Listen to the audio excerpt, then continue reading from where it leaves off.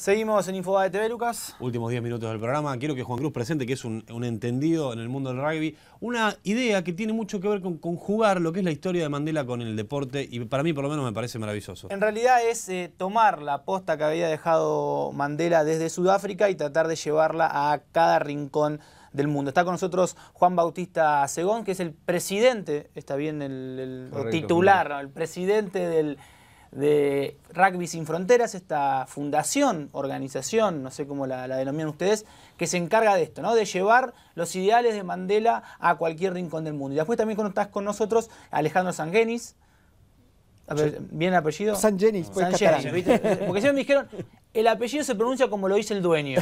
Entonces siempre está. Que él es ahora periodista, él es consultor, en su momento fue uno de los editores de la revista Gente y fue quien entrevistó también a Mandela. Tuviste esa posibilidad. En el 95. Correcto, tuve esa posibilidad y, la verdad que hoy, a, la luz de, los años, eh, una bendición, porque fue uno de los hombres más luminosos que nos ha dado ¿Cómo llegaste a Mandela? Llegué porque en ese momento se estaba dando el punto de inflexión en Sudáfrica, o sea, estaba empezando Sudáfrica a hacer el cambio de antorcha. Bueno, justo fue, el año del Mundial, ¿no? El año del Mundial, exactamente. Y ellos, eh, había una gran expectativa para ver qué pasaba. El mundo tenía los ojos fijados en Sudáfrica porque venían de una etapa de mucha lucha del apartheid y sobre todo de que se decía que venía la explosión total, que los blancos que todavía dominaban el ejército, la policía, la economía, no iban a tolerar y sobre todo se iban a proteger de una manera desmedida de los posibles ataques de los negros que iban a tener el poder. Mandela, lejos de producir hechos de violencia o de desarrollar algo que sea lo más parecido a una persecución, hizo todo lo contrario. Hizo lo que acaban ustedes de decir. Utilizó el rugby, que vino, se vino al Mundial, para que sea una herramienta de sanación. ¿no? Él buscó, él fue como un padre sanador, ese que va hijo por hijo a ponerle la mano en el hombro, acompañarlo. Y eso es lo que percibí en esa entrevista, que uno llegaba a su despacho, lo primero que lo recibía era un típico rubio redneck, o sea, no, no había cambiado nada, él les da un mensaje que, de integración a todos. Entonces, él confió en esa gente, más allá de que su propia familia no le gustó, más allá de que su propio entorno no, no le gustó que le diera ese apoyo a los Springboks. Entonces, eh, Mandela ya en acción demostró que él venía a cambiar las cosas. Sobre todo desde lo, desde lo no verbal, porque hay que recordar que Sudáfrica en esa época estaba dividida también en muchísimos dialectos, estaban los Zulus, los Utsus, los, islámicos, entonces eh, los africanos que tienen su idioma propio también. Eh, entonces él desde lo no verbal, eh, demostrando que desarrollaba una empatía personal en general, es lo que dio una nueva, un, un nuevo mañana. Bautista, ¿cómo nace Rugby Sin Fronteras? ¿Cómo llegas a esto? Nace con la idea de justamente tomar legados como el de Nelson Mandela, el de la Madre Teresa y tantos, digamos, una, es una fundación que lo que el objetivo que tiene es promulgar, promover y defender los valores universales. Nace como una consecuencia de una idea de hacer un partido en las Islas Malvinas, donde estuvimos en guerra y después de 30 años, el único avance que ha habido de relación entre los pueblos debe ser el que, el que tenemos hoy con la Fundación. Ya estuvimos cuatro veces en las Islas Malvinas, vamos todos los años donde Nacha nos da una gran mano al momento de salir. Este, y bueno, y así producto de eso empezamos a hacer puntos de encuentro en el mundo entre antinomias o homenajes o, tributos, como le hicimos al señor Nelson Mandela en la cárcel donde él estuvo preso, en Robben Island. Tuvimos el honor, el privilegio de dormir en las celdas donde ellos dormían, de jugar con un compañero preso de, Nelson Mandela, con el señor Dosa, de 71 años, que vino a decirnos que para él sería un honor rendirle un homenaje a Madiba jugando un partido de rugby y eh, un pequeño Mandela, una cosa que vi, digamos, en ese proceso es que Sudáfrica tiene millones de pequeños Mandela que estuvieron en la misma situación y que hoy perdonaron, que viven felices, que pudieron ir para adelante.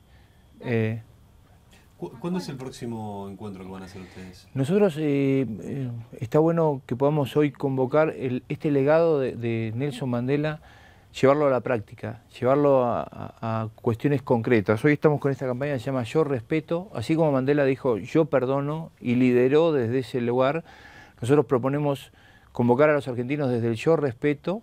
La consigna básica es tirar la basura en el cesto, dejar pasar al peatón en la esquina. Eso, te quería preguntar, si, si sienten que la sociedad argentina está preparada para eso.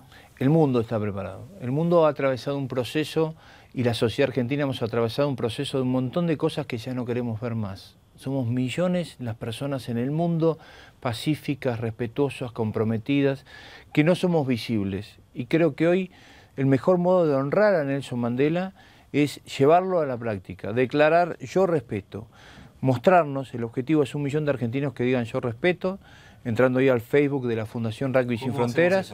claro, o sea, entras al Facebook de la Fundación Rugby Sin Fronteras, pones me gusta o te sumás desde la página... Facebook.com barra Fundación Rugby Sin Fronteras. Exacto, facebook.com barra Fundación Rugby Sin Fronteras y si no, rugbysinfronteras.org. Ahí está el modo de cómo te sumás a la comunidad del respeto. Le hago un eh, like. le haces un like y ahí entras. Después pedís este calco, este calco lo podés conseguir en muchos lugares, que no quiero hacer el chivo, pero que ahí en la página están. Lo pones en, el espejo, en la parte de atrás del auto que dice yo respeto, y así empezamos a mostrarnos. Me lo llevo para la motos. Obvio. Y el 16 de diciembre, el Día Internacional del Deporte por la Paz, convocamos a todos a la Plaza San Martín de Retiro a las 18 horas.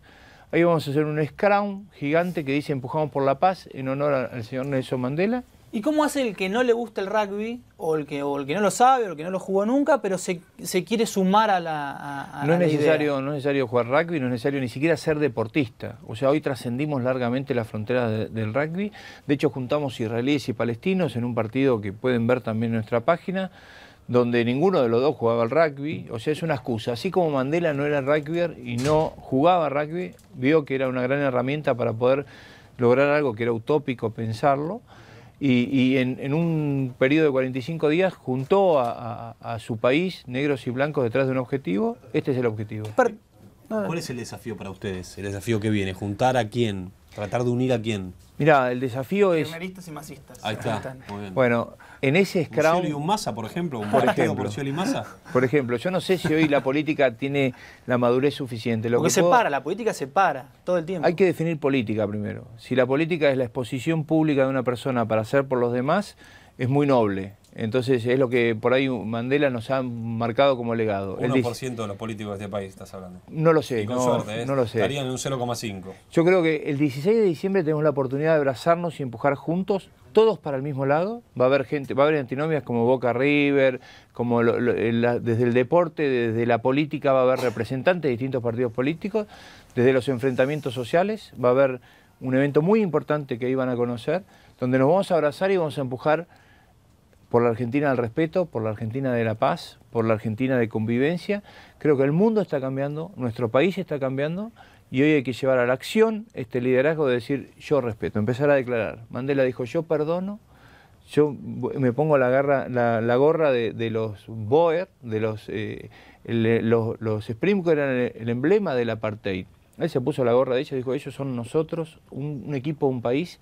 Es hora que los argentinos digamos, un equipo, un país, que miremos para adelante y que tenemos todos para el mismo lado. Bueno, esta me se la das a ninguna y me la das a mí. No, esta ¿Es una sola? No, no, tengo ahí, varias, así que para Juan Bautista Segón, presidente de la Fundación Rugby Sin Fronteras. Eh, Alejandro, eh, una última eh, reflexión muy chiquita sobre qué es lo que viene ya con Mandela como un mito, ¿no? como, un, como una eminencia. Justamente, en la consulta hablaron de políticos, de cómo trasladarles el modelo de una persona luminosa como Mandela, hoy se pueden modelar esas cosas. Y justamente, por ejemplo, Barack Obama, eh, él trató de modelar su capacidad de comunicación, la de, la de Mandela. bueno, lo eh, dijo, ¿no? Sin Mandela no. Exactamente. Clinton, a su vez, eh, modeló a Kennedy, por ejemplo, ¿no? O sea, existen técnicas y recursos para hacerlo, ¿no? Entonces, estas personalidades a nivel mundial se pueden llegar a modelar. De hecho, esta, esta, esta forma de pasar a la acción y de hacer el yo respeto, el, de buscar acciones eh, donde cada uno, como dice acá el Bautista Segons también, maneja su propio metro cuadrado. Eso es lo que hizo Mandela en su cárcel, en su celda, manejar ese metro cuadrado. Hoy todos tenemos la posibilidad de modelar ese mensaje y a través del perdón llegar a ese hacer uno el, mensaje de lo que quiere ser en la vida. Yo te voy a hacer una última pregunta rápido, vos que sos periodista hace muchos años. Eh, ¿Te preocupa la situación del periodismo hoy? Sí, más que me preocupa, me duele. La grieta. Me duele, me duele. La verdad ¿Pero qué te duele? ¿La grieta? Me, duele ver amigos eh, que, y a veces siento que se da como una situación de eh, unitarios y federales o de grises y azules en Estados Unidos. Hay una película que muestra en el momento que en West Point se separan los que van para el norte y los que eran del sur con sus propias músicas, pero que eran hermanos, primos, como, como el muro de Berlín.